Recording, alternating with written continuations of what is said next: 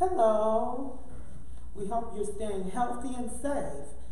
Let's have a conversation about COVID 19. Hello, how are you? Hello, everyone. Okay, how did you find out about the coronavirus? Well, actually, I found out about the coronavirus through social media outlet of all places. Wow. I was through posts where I've seen several posts concerning the coronavirus. And honestly, my first reaction is, is this fake news? Wow. I wasn't for certain if it was factual or fake fake news, so I needed to personally find out the truth.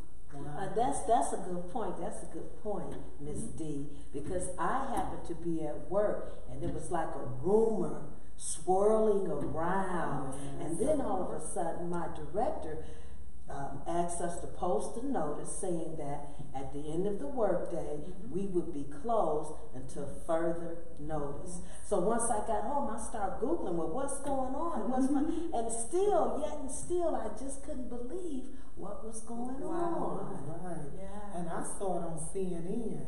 I watch CNN a lot. Yeah. And I'm like, what is this coronavirus? Things are being shut down. People are, are getting sick. I'm like, what is going on? And then once the library shut down, I'm like, oh my goodness, it's hitting home. So it was really, really scary. And it still is. really. It's like a bad movie, and when I go to places, I say, "Hey, this is like the Twilight Zone," and everybody Right, agrees. it is. Yeah. Well, how did it make you feel when, when how, how did you feel? Your emotions and how did you feel when you found I out? felt um, nervous, very concerned, of course, for my my parents, Right. and Yes. older grandparents, Yes. and, and the children, people that I felt would be probably more susceptible to, to Yeah. Catching it. And then how can I and other family members jump in to help with groceries, take things to, to them versus them having to come Having to come out in the elements is what I call being in the elements. yes. And I feel really confused. I'm like, what is going on? I'm like, what what do we do now? We just sit here and wait? Uh, how long how long are we gonna be off? Yeah. You know, it was a lot of confusion going on. Yes. And I even watching the news, I started watching the news so much Oh, that I I had to couldn't, stop I couldn't do it. I had to stop. I had to do the same Right. thing. And I agree with you ladies. It was so much uncertainty. Yes. It was confusion. And there was also a lot of fear as well too Yes. because Yes. we are a people that like to know A to Z. Yes. And when we don't have the steps in between, it just makes us feel very uncertain and very vulnerable. Right. And mhm, I, I agree, I agree, and I- and I think, and then not being able to utilize your community libraries if you don't have access to a computer or laptop at home, Yes. then you really couldn't get the information, you know, additional information about the coronavirus slash COVID nineteen. Right. And that's I'm very sorry. true. Mhm. For the people who didn't have social media outlets, it was like they were left in the blind. So how could they have access to um, determine which information is factual over the rumor? So they had to at first go by hearsay until they turned on the Until news media outlets. Right. And it isolated, even though we all Uh, were at some point of isolation, Yes. it isolated that group of individuals even, Even more. more. Right. Absolutely. Yeah, because I haven't been sleeping well since. I'm, I was gonna tell you. Ditto! And I have to chime in on this. I think we all have irregular sleeping Yeah. patterns. Not to mention eating. Right, don't even mention that. Oh my goodness, we're not going to talk about that, okay? Right, Because I think the exactly. first couple of weeks, we all just ate. Hey, But I think it There was was nothing due else to to, do. I think it was due to the mass population emptying out everything in the grocery store. So we had the mentality of I have to grab everything that I can get. Mm-hmm. And once we got it and we were at home, we were like, okay, well, twiddling our fingers and our thumbs, and we were like, well, what are we going to do? Right. I know that dude, that refrigerator is there, so that was the first thing that we went Yes. to And I for the first couple weeks. Yes, well, Yeah. it, it still continues. All I And what can about the toilet paper? Oh, you go get toilet paper, paper towels know, I didn't quite understand that. That analogy with Yeah, that. I mean, right, I I would think bottled water, but when I heard wow toiletries, it's like wow, that's Oh, different. It was very different, but I can say, ladies, luckily, as some of you know, I coupon.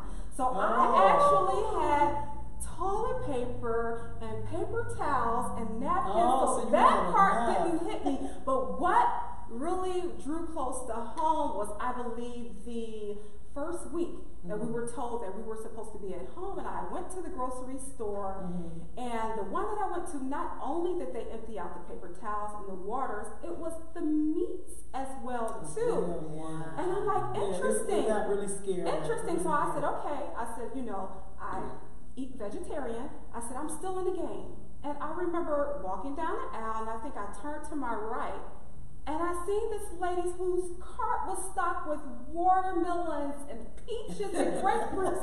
So she had all the good like, stuff. The good stuff. I said, I gotta out. Before I gotta be her, I ran so quick to the vegetable section and fruit section and cleared out the aisle. But it's funny how we all took that mentality, which was very Right. strange and shocking. Because we didn't know. We, We just, didn't we, know. We had no idea. Absolutely. At that point, we were all feeding that Right. um, off of the media. Right. You better go get Absolutely. some toilet paper. better get Lysol. So the hand true. sanitizer is so running short. short. It's running short. Right? So, do you guys know anyone who was affected by COVID 19? Well, thank goodness, not firsthand, but I do have family members and friends who share that they knew people personally. Yeah. But at this stage of the game, thank goodness, I don't know anybody personally. What about you? I would have to say it didn't hit close to home with myself, but I would have to say when it came down to associates or uh, family members who were on the opposite side of the family, for example, um, an elderly couple Mm. Never left their home, Wow. but they had teenagers staying with them.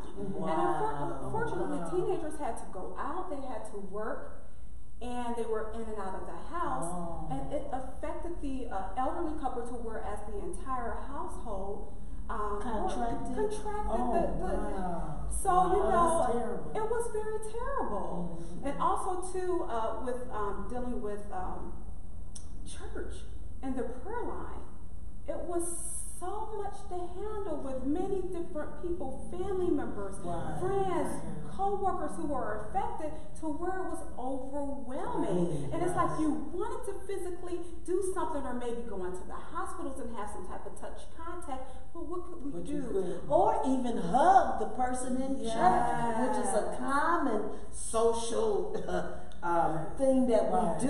And then now, distancing. so we can't Right. shake hands. We have to Yes. elbow it. I mean, Yes. everything is just totally different. now. Yes, Flipped it upside is, down. Yes, and the same with me. I, people, uh, I know certain people, uh, but no one in my family Yes. that you know they got really sick or couldn't taste or smell the food, and they decided to get tested and it was positive, and they were quarantined for, for between fourteen and thirty days. Yes.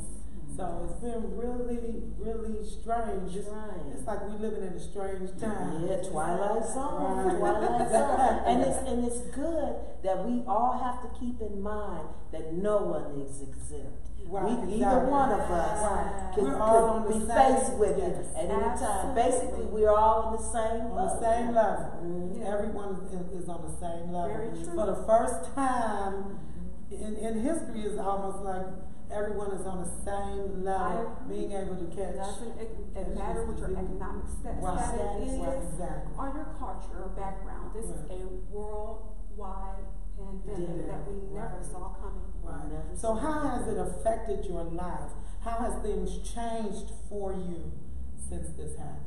You know what? I had to learn how to adapt.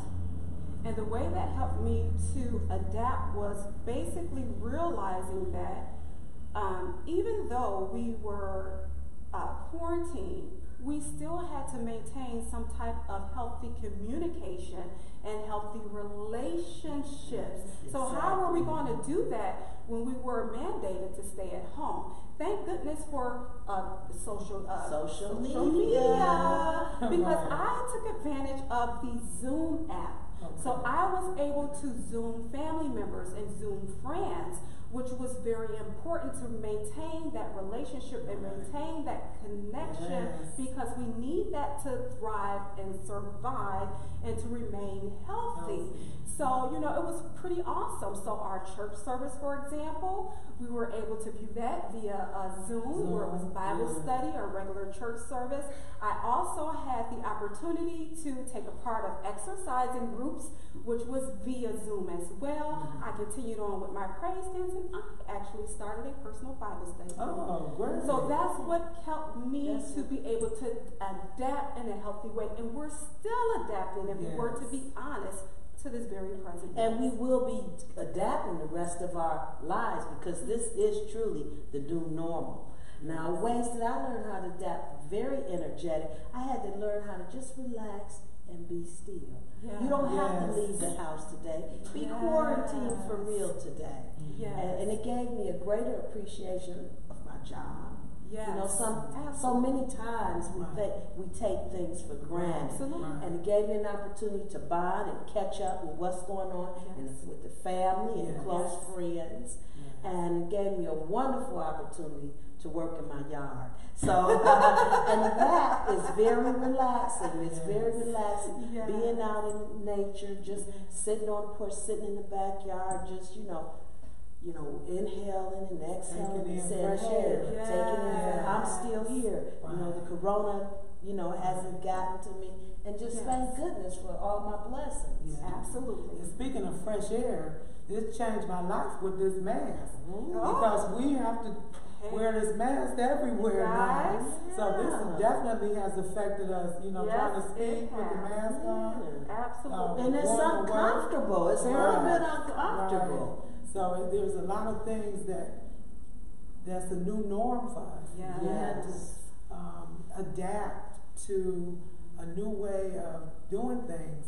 Well, even here at the library, we're not open to full capacity. Correct. So we're doing the best we, We can. can. Yes. With Giving what the we best have to work with. Yes, Absolutely. Yes. So we all came in with positive attitudes, Yes. knowing that today is a new It's day a new day. because it's the new norm. It's And the it's great norm. to be able to see our patrons come in and see them face to face. Even though we're not fully open, but it makes me so elated to see people who I haven't seen in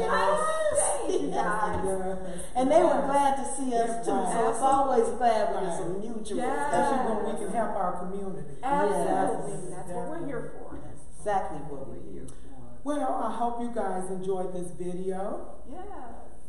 Please share with us some of your experiences during the pandemic by responding to the comments below. Thank you, stay safe, and have a great day. And I also want to let you guys know if you need more information about the coronavirus, factual information, please visit www.cdc.gov. Thank you. And don't forget to continue to support your community libraries. Have a wonderful day. Bye bye. Bye.